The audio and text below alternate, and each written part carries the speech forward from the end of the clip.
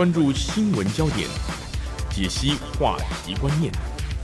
优视频道 U Channel 焦点话题，关注新闻焦点，解析话题观念。欢迎您一起来关心本周的优势焦点话题。我是张志斌。最近几天，全美国乃至于全世界关注的新闻焦点，莫过于发生在佛罗里达州奥兰多的同性恋夜店枪击案。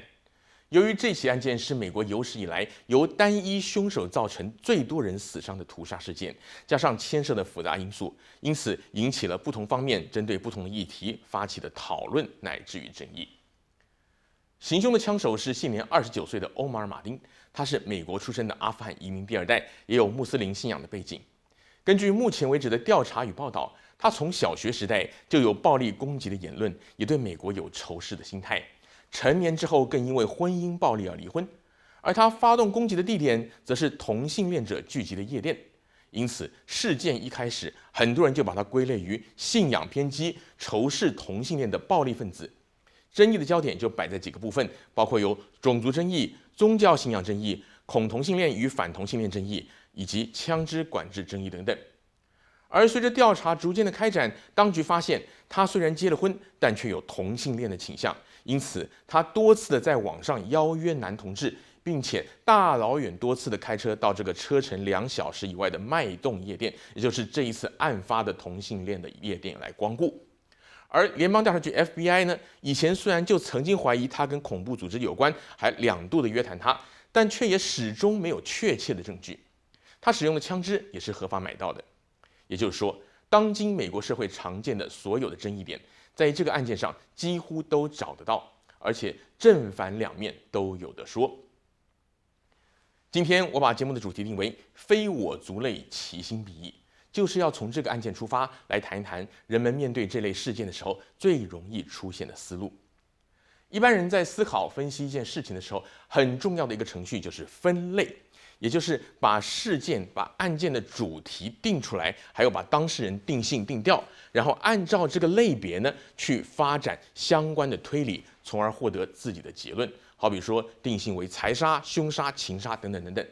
而在这个过程当中呢，我们的思路很容易受到自己所属的群体以及既有的立场跟成见所影响。假如事件的当事人跟我们不是同一国的话，就很容易会快速的下结论，甚至扣帽子。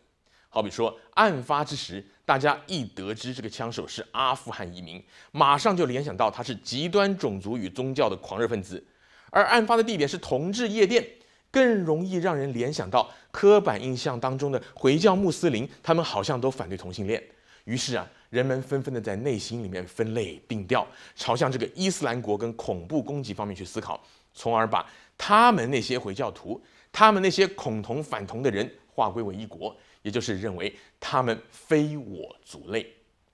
而如果这种想法更进一步的话，就会落实在具体的行动纲领之上。好比说，共和党的总统参选人 Donald Trump 就认为啊，应该要拒绝让那些对美国不友善国家的人移民，甚至入境美国，因为他觉得那些人就算移民美国，也是自成族群，不会融入美国的社会，也不会去举报类似的犯罪企图。言下之意就是呢。不能相信这些移民对美国的忠诚，也就是因为他们非我族类，所以觉得是其心必异。而在 FBI 发现欧马尔·马丁可能也是同性恋之后呢，他行凶的动机似乎就无法完全用反同性恋的极端穆斯林来解释了。人们也开始从他的成长背景与家庭、婚姻等面向来探讨。觉得啊他之所以行凶，有可能是因为他自我认同产生了矛盾，从而对社会出现了仇恨，而不只是单纯的这个种族、宗教或者政治狂热等等因素就可以解释的。而也从此刻开始，对案件的探讨才出现了比较多元的声音。无论是凶手的背景也好，他犯下这起暴行的背后原因也好，都相当的复杂。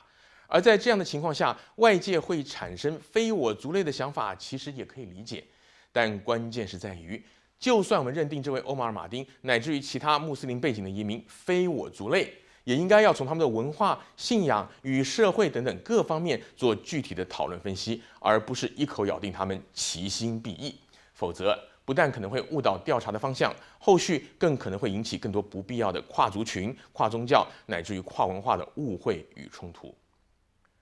不管是家庭、地区或是国家、民族，每个群体或多或少都有自己的特性，这是可以理解的。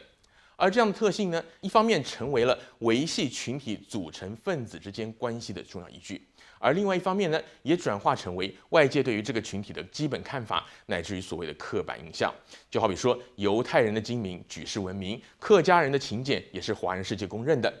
当然，这样的形象有一定的可信度，但我们也不要忽略了，每一个群体都是由个体组成的，而不同的个体彼此之间也会有一定的差异。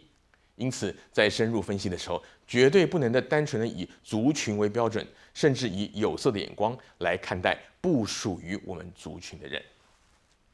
今天的优势焦点话题就跟您分享到这儿，再一次的感谢您的收看，我们下次再会。关注新闻焦点，解析话题观念，优视频道 U Channel 焦点话题。